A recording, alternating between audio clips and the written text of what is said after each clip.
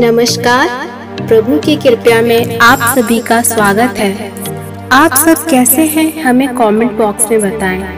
यदि आपने हमारे चैनल को अभी तक सब्सक्राइब नहीं किया है तो सब्सक्राइब करना ना भूलें।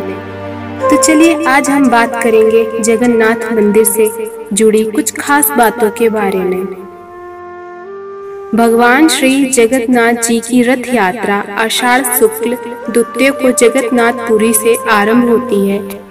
यह रथ यात्रा पूरी का प्रधान पर्व है। इसमें भाग लेने के लिए लाखों की संख्या में श्रद्धालु पहुँचते हैं। इस रथ यात्रा में भगवान जगन्नाथ, भाई बालभद्र और बहन सुभद्रा की प्रतिमाओं को तीन अलग अलग दिव्य रथों पर नगर भ्रमण कराया जाता है। रथ यात्रा मुख्य मंदिर से शुरू होकर दो किलोमीटर दूर स्थित गुड़ांची मंदिर पर समाप्त होती है, जहाँ भगवान जगतनाथ सात दिनों तक विश्राम करते हैं। देश के धनवान मंदिरों में से एक उड़ीसा का जगन्नाथपुरी मंदिर अपने अंदर कई रहस्यों को समेटा हुआ है। जून 2018 में मंदिर के खजाने की चाबी गुम हो जाने की वजह से ये मंदिर काफ़ी चर्चा में रहा था। इस मंदिर में हर साल भगवान जगन्नाथ की रथ यात्रा निकाली जाती है।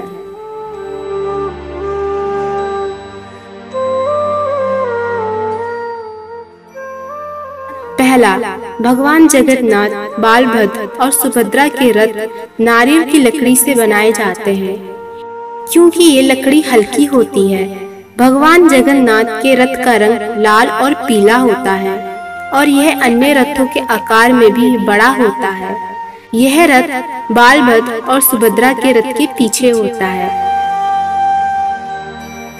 दूसरा, भगवान जगन्नाथ के रथ के कई नाम हैं, जैसे गरुण ध्वज कपी ध्वज नंदी घोष आदि।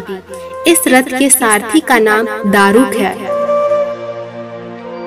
तीसरा भगवान जगन्नाथ के रथ के घोड़े का नाम संख, बालहक, श्वेत एवं हरी दशाव है। इनका रंग सफ़ेद है। रथ के रक्षक पक्षी राज गरुण है। चौथा, भगवान जगन्नाथ के रथ पर हनुमान जी और नरसिंह का प्रतीक चिन्ह है। यह स्तंभ रथ की रक्षा का प्रतीक है। पांचवा रथ की ध्वजा यानी झंडा त्रिलोक वाहिनी कहलाती है। रथ को जिस रस्सी से खींचा जाता है, वह शंखचूड़ नाम से जानी जाती है। छठा, भगवान जगन्नाथ के रथ में सोलह पहिए होते हैं। ऊंचाई साढ़े तेरह मीटर होती है। लगभग 1100 मीटर कपड़ा रथ को ढकने के लिए उपयोग में लाया जाता है। सातवा बलराम जी के रथ का नाम ताल ध्वज है। इनके रथ पर महादेवी का प्रतीक चिन्ह होता है। रथ के रक्षक वासुदेव और सारथी का नाम मताली है। आठवा, सुभद्रा के रथ का नाम देवदलन है। इनके रथ पर देवी दुर्गा का प्रतीक होता है। रथ के रक्षक जय दुर्गा व सारथी अर्जुन होते हैं। नवा भगवान जगन्नाथ के रथ के घोड़े का रंग सफ़ेद, सुभद्रा के रथ के घोड़े का रंग कॉफ़ी कलर का व बलराम जी के रथ के घोड़े का रंग नीला होता है। दसवा, भगवान जगन्नाथ के रथ का शिखर लाल, हरा, बलराम जी के रथ का शिखर लाल, पीला व सुभद्रा जी के रथ का शिखर लाल, ग्रे रंग का होता है। ग्यारहवा भगवान जगन्नाथ के मंदिर में आज भी कई ऐसे चमत्कारी होते हैं, जिसका जवाब विज्ञान के पास भी नहीं है पुराणों के अनुसार जगन्नाथ मंदिर को धरती का बैकुंठ माना गया है, क्योंकि भगवान श्री कृष्ण आज भी यहाँ सहदेव उपस्थित माने जाते हैं यह प्राचीन काल से यहाँ की सवर जनजाति के आराध्य देव हैं। और ऐसा कहा जाता है कि इसी वजह से यहाँ भगवान विष्णु का रूप अन्य मंदिरों की अपेक्षा थोड़ा अलग नज़र आता है। बार बार भगवान जगन्नाथ को समर्पित इस मंदिर का निर्माण दसवीं शताब्दी में हुआ था, जिसे चार धामों में भी स्थान प्राप्त है। ऐसी मान्यता है कि मंदिर की चोटी पर लहराता ध्वज सदैव हवा के विपरीत दिशा में लहराता है। दरअसल ऐसा कहा जाता है कि यहाँ दिन के समय हवा समुद्र से ज़मीन की तरफ़ आती है और शाम के समय इसके उल्टे दिशा में हवा बहती है। मगर मंदिर का ध्वज इसके ठीक विपरीत उल्टे दिशा में लहराता है क्योंकि मंदिर में हवा दिन में समुद्र की ओर और, और रात में मंदिर की तरफ़ बहती है। इसके साथ ही मंदिर पर लगे सुदर्शन चक्र के दर्शन आप मंदिर परिसर में कहीं से भी खड़े होकर कर सकते हैं। हर तरफ़ से चक्र आपको अपने सामने ही लगा हुआ दिखेगा। तेरवा, ध्वज की छाया दिन के किसी भी समय ज़मीन पर नहीं पड़ती। इसके अलावा ऐसा कहा जाता है कि मंदिर में प्रतिदिन चाहे कितने भी श्रद्धालु दर्शन के लिए पहुँचे, मगर प्रसाद की मात्रा कभी घटती नहीं है। हर समय पूरे साल के लिए भंडार भरा रहता है। ऐसी मान्यता है कि भगवान जगन्नाथ के प्रताप से यहाँ हज़ारों लोगों से लेकर लाखों लोगों तक को प्रतिदिन भरपेट भोजन खिलाया जा सकता है। चाहे श्रद्धालुओं की संख्या में कितनी भी वृद्धि हो जाए, मंदिर के अंदर पकाए जाने वाला प्रसाद कभी कम नहीं होता।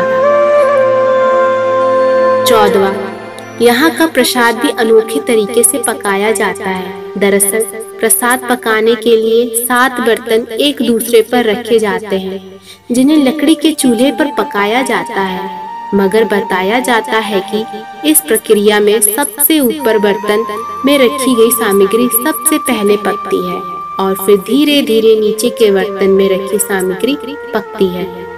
यहाँ की विशाल रसोई में भगवान जगन्नाथ को चढ़ाने वाले महाप्रसाद को बनाने के लिए 500 रसोईया लगे रहते हैं, जिनके लिए अलग से 300 सहयोगी काम करते हैं, यानी करीब 800 लोग मिलकर महाप्रसाद तैयार करते हैं। यह प्रसाद रूप में भक्तों को गोपाल भोग बांटा जाता है। पंद्रवा इस मंदिर की एक और चमत्कारी बात यह है कि मंदिर के अंदर प्रवेश करते ही आपको समुद्र की लहरों की ध्वनि नहीं सुनाई देगी सोलवा, भारत में किसी मंदिर का ध्वज हर दिन नहीं बदला जाता। जगतनाथ का मंदिर ही एक ऐसा मात्र मंदिर है जिसका ध्वज हर दिन बदला जाता है। हर दिन एक पुजारी को ऊँचे गुंबद पर चढ़ाकर ध्वजा बदलना होता है। जगन्नाथ मंदिर की ऐसी मान्यता है कि अगर एक दिन भी ध्वजा नहीं बदला जाएगा तो मंदिर 18 वर्षों के लिए बंद हो जाएगा। सत्तरवा जगतनाथ पुरी की रथ यात्रा की ही तरह भगवान जगतनाथ को उनके जन्मदिन के अवसर पर जेस पूर्णिमा के दिन मंदिर के अंदर से बाहर लेकर आया जाता है। भगवान जगतनाथ के भक्तों के लिए ये काफ़ी महत्वपूर्ण उत्सव होता है। उत्सव में भगवान जगन्नाथ जी को, सुभद्रा और बालभद्र जी के साथ मंदिर के बाहर लाकर स्नान वेदी पर पूरी पारंपरिक तरीके से शुद्ध जल से भरकर 108 घड़ों से स्नान कराया जाता है। स्नान कराने के बाद श्रद्धालुओं को दर्शन के लिए सजाया जाता है। अठारवा, भगवान जगन्नाथ जी को हर दिन चौसठ प्रकार के भोग चढ़ाए जाते हैं। उन्नीसवा पूरे शहर के किसी भी कोने से आपको जगतनाथ जी के मंदिर का झंडा देखा जा सकता है। बीसवा इस मंदिर के ऊपर से किसी भी प्रकार का पक्षी नहीं उड़ता। तो आप सबको ये वीडियो कैसी लगी हमें कमेंट बॉक्स में बताएँ। यदि आपने हमारे चैनल को अभी तक सब्सक्राइब नहीं किया है तो सब्सक्राइब करना ना भूलें। तब तक के लिए जगतनाथ जी महाराज की जय।